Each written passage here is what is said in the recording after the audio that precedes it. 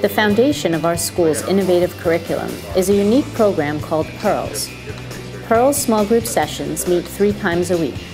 The sessions don't rely on typical lectures delivered by professors, but instead ask students to be active participants who self-direct their own learning. PEARLS is an acronym for Patient-Centered Explorations in Active Reasoning, Learning, and Synthesis. The students see a new case fresh every Monday. Students go through that case and they develop their own learning objectives. On Wednesdays, they're expected to research those learning objectives and have a group discussion about those learning objectives. Every case is written so that the students will be able to elicit the learning objectives that the faculty feel that they should be able to elicit.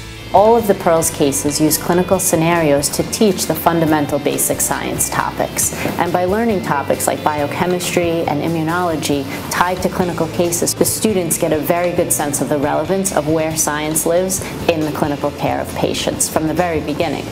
And using this PEARLS process where students have self-directed learning and work in small groups to really challenge each other and learn from one another by asking how and why all the time, they're really able to achieve a very deep understanding understanding of the material.